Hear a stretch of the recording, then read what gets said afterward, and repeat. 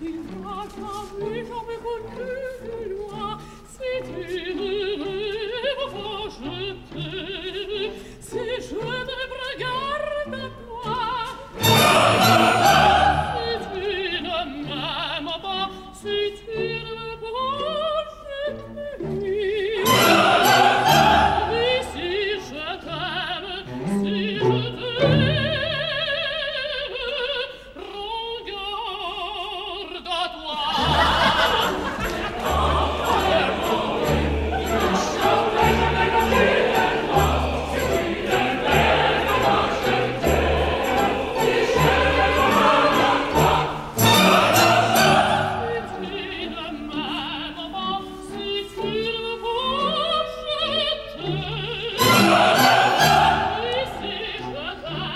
Season.